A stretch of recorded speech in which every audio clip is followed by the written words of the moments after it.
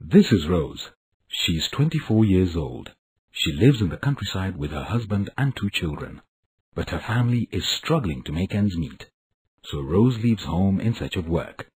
You employ her as your nanny. She puts in long hours taking care of your home and children. She will send most of her income back home to feed her family and educate her children so that they may have a better life than hers. She will do this year after year. When she is too old to work, she will return to her family home. Her children would have grown up and left home.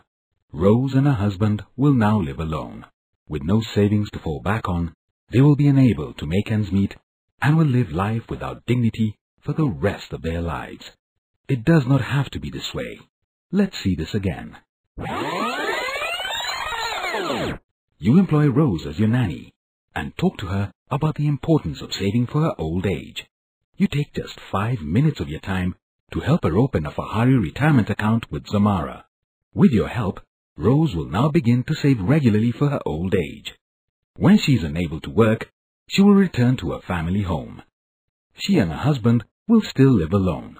But with Rose's retirement savings, she will receive a monthly pension and will live with dignity for the rest of her life. This could be the story of your nanny, your watchman, your driver, or your gardener. Just five minutes of your time can change the rest of Rose's life. You can be the change.